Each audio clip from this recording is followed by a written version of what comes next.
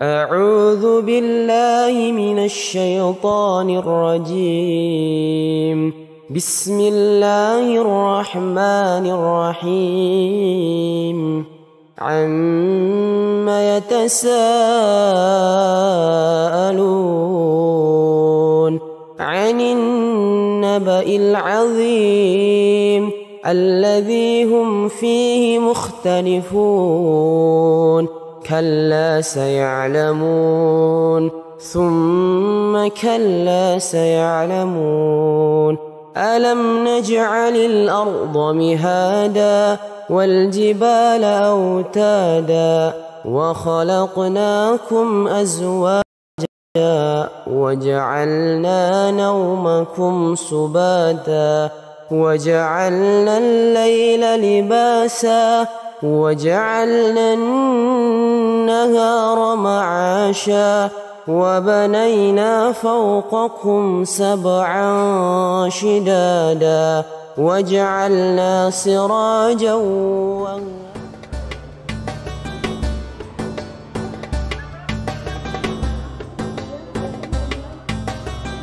Bismillahirrahmanirrahim Assalamualaikum warahmatullahi wabarakatuh Sahabat cendekia muda Alhamdulillah eh, Hari ini eh, Sahabat cendekia muda Siang hari ini kita akan eh, Siaran langsung bersama Ustadz Abdul Rahman Wahid Dari Mekah Nah sahabat cendekia muda Kita akan tunggu Ustadz sedang berjalan eh, Ke Masjidil Haram ya.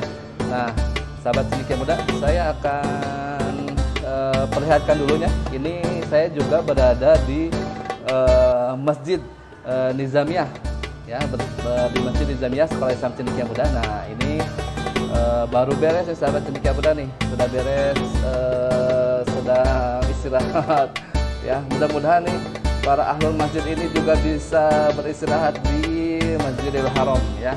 Nah, kita akan tunggu sahabat Cendekia Muda.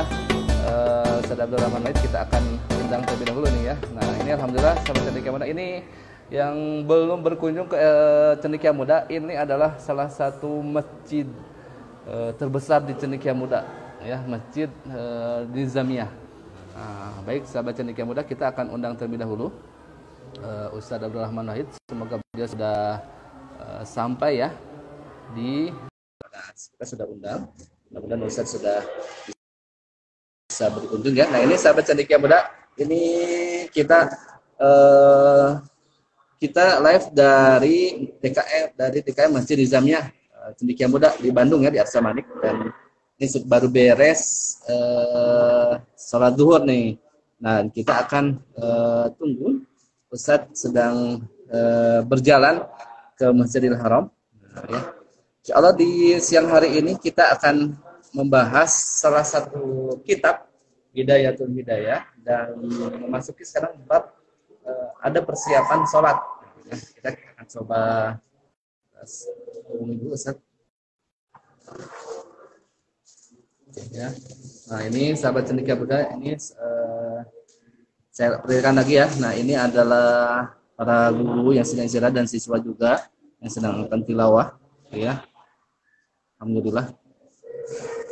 Oke ya. Eh, kita akan tunggu dulu Ustaz segera hadir semoga nah ini sahabat cendekia Muda juga para siswa dan guru baru beres baru beres sholat duhur nih sahabat cendekia Muda ya. Baik kita akan eh, tunggu. Nah sahabat cendekia Muda alhamdulillah di siang hari ini eh, selain kita diberi kesempatan oleh Allah Subhanahu Wa Taala di pekan eh, bukan di pekan ya di hari Selasa kita juga ada kajian yaitu kajian Riyadus Solihin bersama Ustaz Abdul Rahman Wahid SMA pada subuh dan alhamdulillah pada Selasa kemarin kita uh, ustaznya live dari Madinah ya kita akan tunggu nih sahabat muda uh, dari Wahidnya belum masuk ya, kita akan tunggu terlebih dahulu ya nah Ustaz Abdul Rahman sudah bergabung nih Uh, sudah ada di siaran uh, langsung cendekia muda. Nah, kita akan undang dulu Ustaz.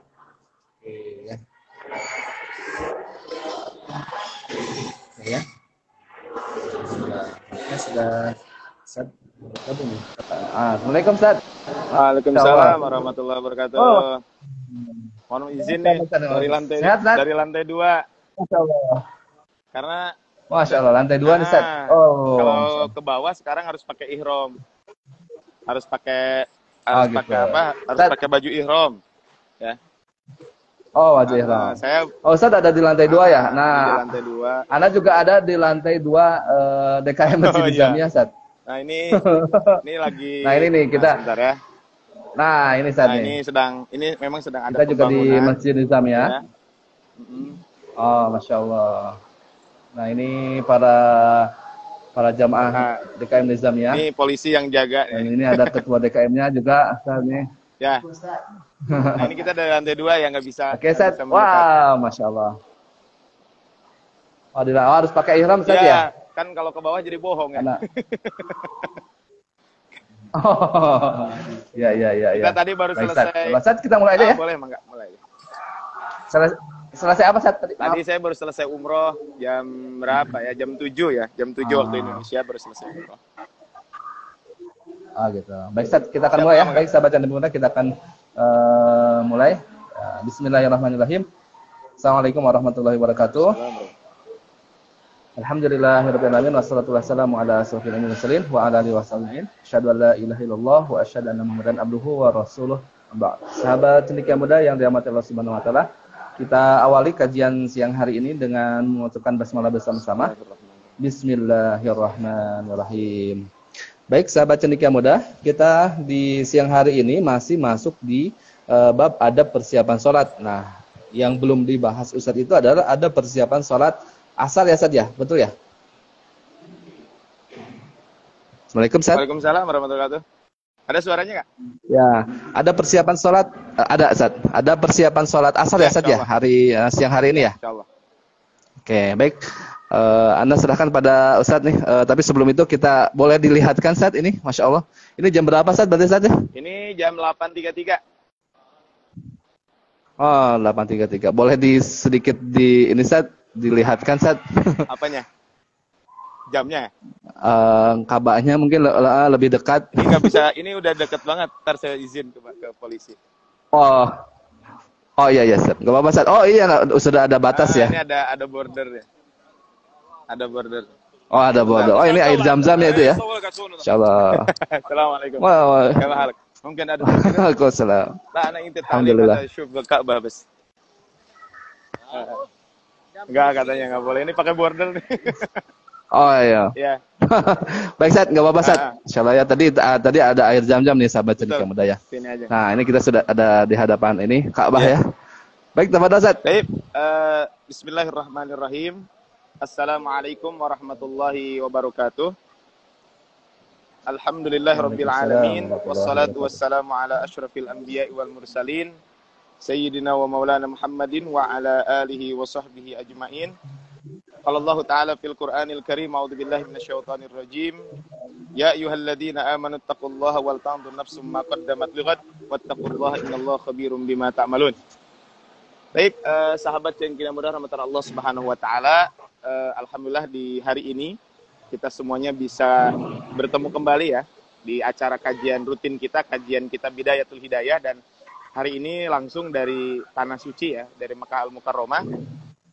Dan mohon izin mungkin ini karena di lantai dua dan ini juga sedang pembangunan, jadi Ka'bahnya agak dari kejauhan ya, tidak seperti kemarin ketika di Masjid Nabawi ya.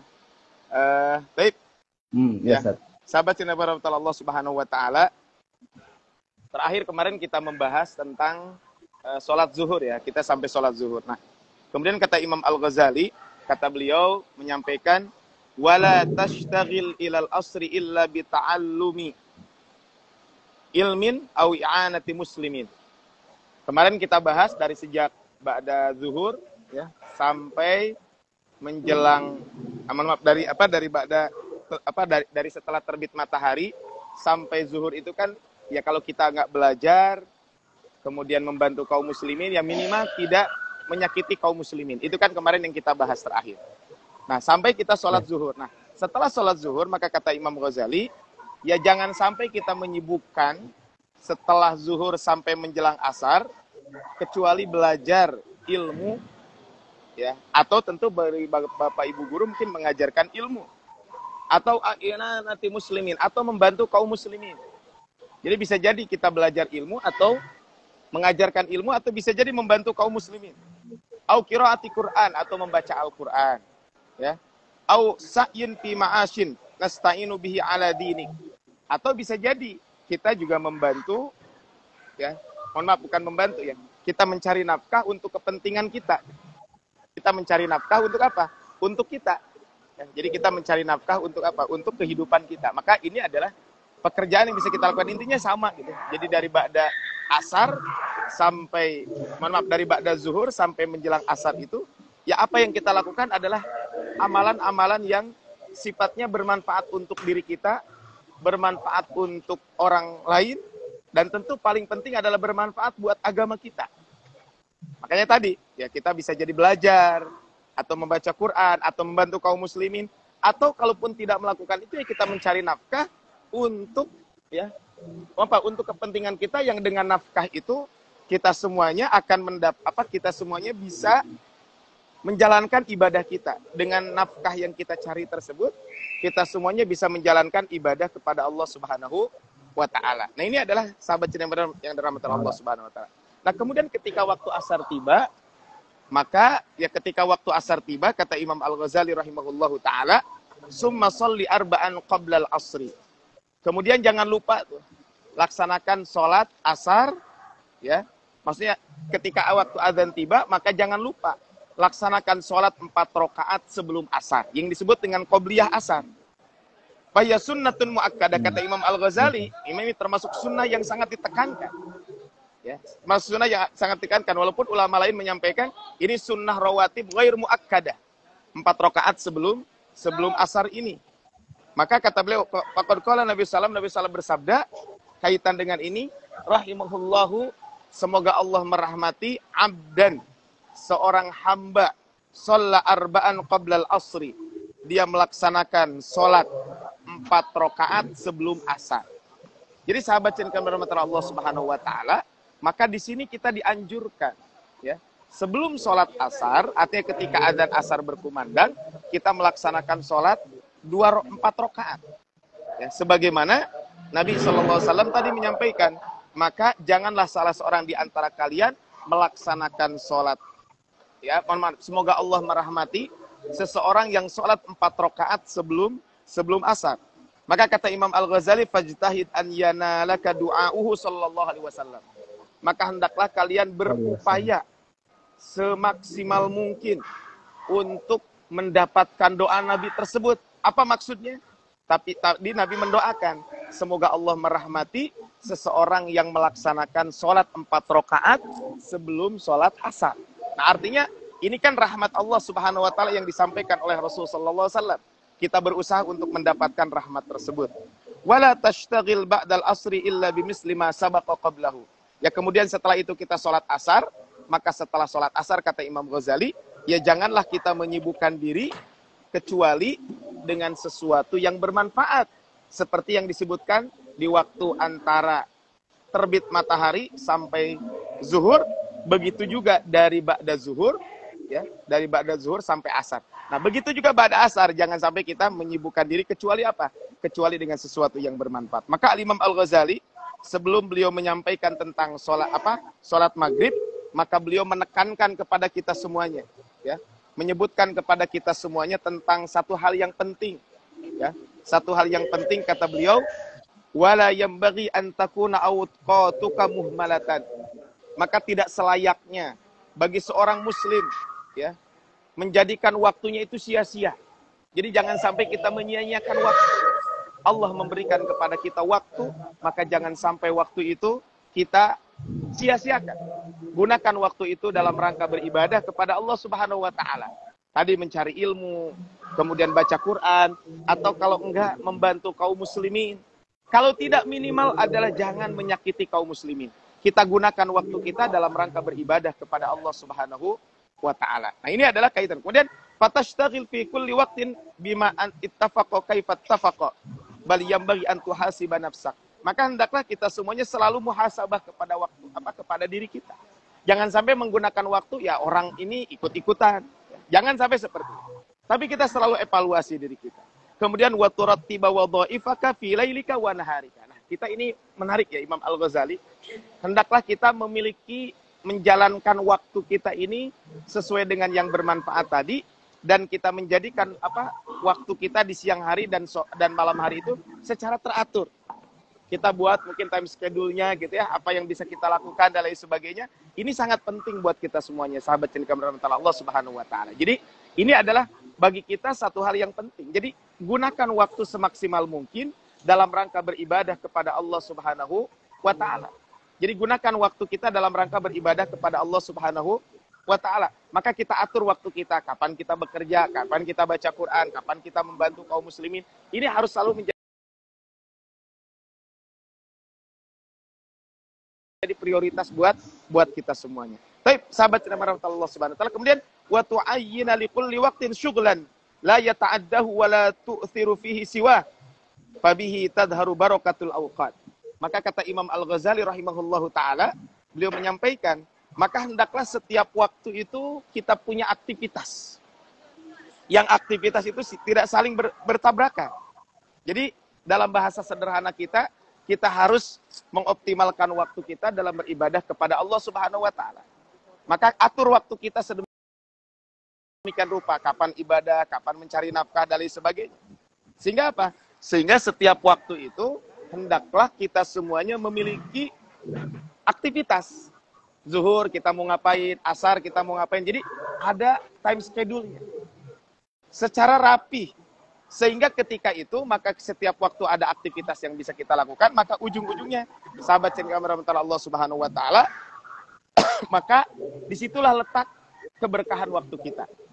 Sehingga apa? Tidak ada tabrakan antara satu waktu dengan waktu yang lain. Nah ini kan perlu kita perjuangkan kaitan dengan waktu ini. Sehingga kata Imam Ghazali berikutnya beliau menyampaikan, Fa amma man taraka nafsahu muhmalan. Sudah ihmal al-bahaim la yadri bima yastaqbilu kulla waqtin. Tapi kata Imam Al-Ghazali rahimahullah taala, maka jangan sampai kata beliau adapun orang yang menjadikan dirinya itu waktu waktu buat dirinya itu adalah sia-sia. Dia tidak memanfaatkan waktu. Bahkan ya dia sia-sia seperti seorang binatang. Yang tadi kalau muslim rahmatullah subhanahu wa taala orang yang tidak bisa mengatur waktu sedemikian rupa, ya dia termasuk orang yang menye, apa, me, melalaikan kaitan dengan waktu ini sehingga dia tidak tahu esok mau ngapain, nanti mau ngapain. Dia berjalan waktu ya dia berjalan begitu saja tanpa ada perencanaan dan lain sebagainya. Sehingga apa? Fatan qadi aktsaru awqatihi dha'i'ah. Maka akhirnya apa sahabat cinta para Allah Subhanahu wa taala? Dia habiskan waktunya dengan sia-sia dan akhirnya banyak waktu yang terbuang, banyak waktu yang hilang. Nah, waktu hilang inilah mungkin yang tidak boleh kita lakukan sahabat cendekan rahmatullah Allah Subhanahu wa taala. Nah, maka kata Imam Al-Ghazali, wa uqatika umruka. Nah, ini penting buat kita semuanya. Waktu kita ini adalah usia buat kita. Jadi waktu kita ini adalah umur kita. Wa umruka ra'su malika. Kalau kita sebagai pebisnis, kita sebagai pedagang, maka diibaratkan usia kita itu ibarat modal. Jadi kalau modal kita tidak dimanfaatkan sedemikian rupa, ya kita termasuk orang yang rugi, kata Imam Al-Ghazali. Kemudian apa? Wa alaihi tijaratuka. Modal itu dengan itulah kalian bisa berniaga. Wabihi wusuluka ila naimil abad fi jiwarillahi ta'ala. Nah, dengan waktu yang Allah berikan, waktu itu usia kita, usia kita itu ibarat modal, dan dengan itulah kita bisa berniaga. Maka kata Imam Al-Ghazali, maka dengan usia kita yang Allah berikan, dengan waktu yang Allah berikan kepada kita, maka dengan itulah kita akan mendapatkan kenikmatan yang penuh dengan keabadian. Di sisi Allah Subhanahu wa taala, fakullu nafasin min anfasika jauhar, jauharun la qimatalahu. Maka Bapak Ibu setiap hembusan napas kita, kita bernafas, maka himbu, apa hembusan napas kita itu merupakan intan, merupakan berlian yang mana tidak ada harganya sesungguhnya. Jika apa? Dan tidak bisa digantikan saking berharganya waktu kita.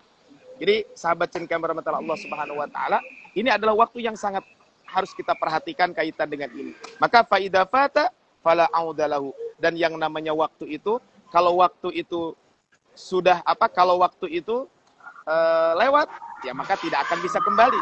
Maka disebutkan dalam pepatah Arab, lantar ji'al ayyamul lati madat waktu yang ter apa waktu yang telah lewat maka tidak akan pernah kembali. Maka kata Imam Ghazali fala takun kal. Janganlah kita seperti orang bodoh alladzina la yafrahuna fi kulli yaumin bi ziyadati apa amwalihim ma nuqsani a'marihim. Jangan sampai kita seperti orang bodoh. Orang bodoh itu dia bangga, dia senang setiap hari bertambah harta padahal usianya berkurang. Nah, ini adalah maksudnya sahabat cinta kebenaran Allah Subhanahu wa taala. Ini yang harus kita perhatikan. Jadi dari sinilah betapa pentingnya kita memanfaatkan waktu. Maka kata Imam Al-Ghazali rahimahullah taala di dalam kitab Bidayatul Hidayah, beliau menyampaikan kaitan dengan betapa pentingnya kita semuanya untuk selalu menjadikan hidup kita ini bermanfaat. Tadi ya, dari sejak subuh apa yang bisa kita lakukan bahkan dari sejak bangun tidur, setelah bangun tidur kita pun menjalankan kebaikan-kebaikan dengan cara apa? Kebaikan yang kita lakukan adalah setelah zuhur lakukan kebaikan. Zuhur lakukan kebaikan. Kemudian setelah asar pun bisa kita lakukan kebaikan. Maka sebelum beliau membahas tentang sholat maghrib, maka beliau menyampaikan kepada kita semuanya betapa pentingnya kita mengatur waktu sedemikian rupa dalam rangka beribadah kepada Allah Subhanahu wa taala. Maka usia kita ini harus selalu kita perhatikan. Allah berfirman di dalam Al-Qur'an, "Wal asri innal insana lafi khusr." Demi masa, sesungguhnya manusia itu berada dalam kerugian illal ladzina amanu, kecuali orang-orang beriman. Wa amilus salihati dan orang-orang yang melaksanakan amal soleh watawasau bil haqqi watawasau bis sabr. Dan mereka saling mewasiatkan kepada kebaikan, kepada kebaikan dan mereka saling mewasiatkan kepada kesabaran. Inilah orang-orang yang tidak akan pernah merugi. Jangan sampai kita merasa kehilangan harta kita ketika kita tidak bisa apa ketika ketika kita tidak bisa memanfaatkan kesempatan dalam berniaga, dalam mencari harta, tapi kita kadang tidak merasa sedih ketika usia kita berkurang Padahal usia kita itu adalah diibaratkan oleh Imam Al-Ghazali rahimahullah taala, usia kita itu adalah seperti apa? Seperti modal dalam kehidupan kehidupan kita semuanya. Ini adalah kaitan dengan ini. Tapi Pak Ilham yang, uh, yang dan sahabat sini kepada Allah SWT, demikian mungkin yang bisa kami sampaikan kaitan dengan kajian kita di siang hari ini. Mohon izin karena ini di lantai dua ya, jadi lantai bawah sekarang sudah tidak bisa, ya, tidak bisa turun ke bawah kecuali mengenakan kain ihram ya kalau tidak mengenakan kain ihram ya hmm. kita tidak bisa turun ke bawah gitu ya. Memang ini juga untuk kerapihan bersama dan lain sebagainya. Oh gitu ya, ya. ya. Tapi mungkin hmm. barangkali itu Baik Sat, nggak apa-apa Sat. Masya Allah. Ini sedang ada apa di lantai dua juga sedang pemba, apa sedang Masya Allah. pembangunan ini Bapak Ibu. Ya. Nah, ini mungkin suasana di sekelilingnya hmm, seperti ini. Masya Allah. Masya Allah ini, nah, ini ya Allah. Masjid, Semoga masjid sahabat cendikan muda ya. Pekerja Masjidil Haram yang sedang bersih-bersihnya, nah itu sedang dibersihkan. Ya. Uh, Bapak Ibu. Masya Allah ya. nih ya. Ya, mudah-mudahan sahabat nah, ini juga ada yang minta doa dipermudah. Amin, amin, amin. Mm -hmm. Mudah-mudahan San boleh minta doa Sat buat kita nih. Ya, mudah-mudahan sahabat cenika muda semuanya, guru, siswa, wali murid dan semua yang hadir bisa menjalankan ibadah umroh dan ibadah haji bersama keluarga ya. Ini mudah-mudahan jadi keberkahan buat kita semua. Amin ya Allah. Ini langsung di depan Ka'bah ya dan pas amin, ini amin, amin, amin. kalau ini pas multazam ini sebenarnya kalau dari kalau dari bawah ya. Oh, maksud multazam. Nah, Masya Allah ini. Seperti se se lurus ya ini sejajar ya, Sad ya. Itu Ka'bah ya, yang yang hitam-hitam ah, di kiri kanan, nah itu yang iya, tengahnya yeah, yeah. agak apa coklat ya itu ya. Nah itu pintu Ka'bahnya. Ah, ini mohon maaf tidak Masya bisa mendekat ya. Nah ini pintu Ka'bah ya. Iya iya Sad, nggak apa-apa Sad. Aduh Masya Allah itu. Tapi itu yang di tengah itunya nggak belum nggak penuh ya, Mbak. Masih ya, ada. Memang ini. dibatasi banget yang ke bawahnya. Ya. Nah kebetulan ini kan hari Kamis ya, hari oh, Kamis. Okay, ya. Bukan hari libur. Kalau besok mungkin ramai banget hari Jumat kebetulan. Oh ya. gitu Seth ya. Ya baik. Nampaknya uh, tidak ada yang bertanya di Seth ya. ya. Alhamdulillah. Uh, kita akhiri saja Seth ya. Baik sahabat ceniknya muda. Alhamdulillah.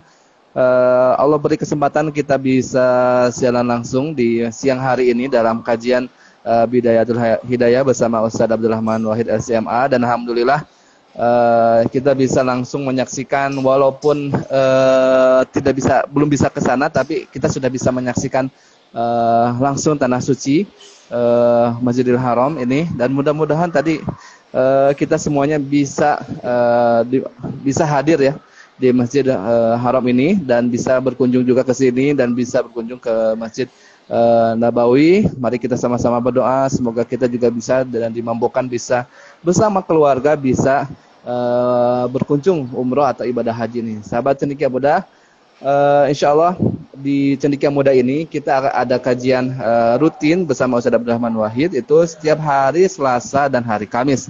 hari Selasa kita masuk di uh, kajian Riyadus Solihin uh, pada subuh ya di hari Selasa dan uh, hari Kamis uh, pada duhur. Nih sahabat cendekia muda. Ya alhamdulillah. Baik uh, sahabat cendekia muda. Oke, baik uh, sahabat cendekia muda, saya tutup nampaknya ya. Uh, sahabat cendekia muda, mudah-mudahan uh, hari ini, siang hari ini kita tadi mendapatkan uh, ilmu dari uh, Ustadz dan alhamdulillah juga selain mendapat ilmu kita bisa menyaksikan secara langsung Ka'bah uh, di depan uh, mata kita juga gitu ya. Uh, Alhamdulillah ini terasa dekat gitu ya, terasa dekat dengan uh, Masjidil Haram ini dan mudah-mudahan sahabat cendekia muda yang hadir uh, di begitu ya. Baik, kita akhiri kajian siang hari ini dengan bacakan hamdalah. Alhamdulillahirabbil alamin. Subhanakallahu bihamdika, asyhadu an la ilaha Assalamualaikum warahmatullahi wabarakatuh. Jazakallah, Ustaz. Mana Pak DKM ini nggak kelihatan Pak DKM? Pak DKM, oke, okay, set. Ana lihatkan ya, no Pak DKM ada. Pak DKM di ini ditanya oleh Ustadz Abdurrahman Wahid, Pak DKM bisa mendekat? Ya, anak ini saat sebentar ya sahabat. Nih, sahabat cendekia muda, ini adalah Masjid uh, Nizamiyah nih ya. Nizamiyah ya. Nah, ini ini Masjid Nizamiyah. Nah, ini sedang pada istirahat. Nah, ini sedang uh, sedang mengikuti ini saat kajian juga ini bersama Ustadz nih. Oh, gitu. Ini ada Pak Yogi, oh, ini Pak ada Yogi. koordinator Umi, ada Pak Yogi ya, ini saat. Pak Yogi ya, Pak Yogi ya. Ini ini ya, Pak Ugi, Pak Ugi, Kodir. Pak Ugi sehat Pak Ugi. Nah, ini Pak Darmawan. Uh, Pak Darmawan tuh sama siswanya. Ya, ya. Nah, ini, nah ini minta doanya supaya menjadi anak soleh katanya Sad. Amin, Namanya siapa? Amin. Bisa kuliah di Timur Tengah ya. Tuh Pak Ilham. Oh, namanya Aulia Amri katanya Sad. Oh, ada Pak Eka ya cendekia muda. Ada insya Allah ada program dan rencana ada saat ya. Jadi nanti kalau di Cendikia Muda ini ada program umroh dan siswanya bisa e, menabung dari awal, Ustaz ya. Nanti diakumulasikan dan bisa berangkat di e, SMP mungkin ya saat balik. Nah ini ya. ketua DKM Masjid Nizamia Bapak Jumali saat katanya minta doa juga saat. Oh masya Allah. Sehat sehat katanya. sehat sehat pada DKM. Oh ini ada Bunda Zamir, Mirza anak saya saat mohon doanya katanya. Oh ini Amin. ada bundanya nih, Mas. Ini Bunda nih. Um, sedang ada di sini Amin. Bunda nih, sedang di ya, masjid bersama Pak Darmawan. Murid-murid oh, Masya Allah. dari cendikia muda ini ya. bisa berkunjung dengan keluarganya ke tanah suci ya. Amin. Nah ini juga uh, dua ada Mr. Jody saat sama Pak Deden ini juga nih. Uh, Wah, ini bahasa Inggris ya. Mohon doa. Bahasa Inggris, nih Pak Deden admin juga ya. Alhamdulillah. Siap, siap, Baik, sahabat cendekia muda, nampaknya siaran langsung dari Mekah dan Masjid uh, Nizamiyah uh, selesai. Semoga bermanfaat semuanya. Uh, kita tutup dengan salam. Assalamualaikum warahmatullahi wabarakatuh. Ya. Ya. Assalamualaikum, Ustaz. Salam udah ya. Izin live. Ya, Ustaz.